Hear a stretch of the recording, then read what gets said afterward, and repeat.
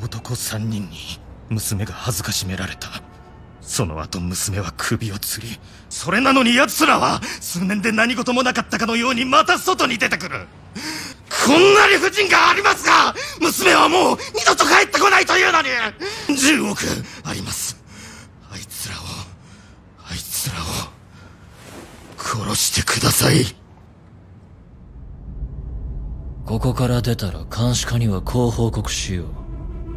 お前たちはここで、100匹のゴブリンに遭遇したと。助けてくれ楽に死ねると思うなよ。できる限り苦痛を与えてから殺してくれと頼まれてるんでね。おかげで迷わずに済む。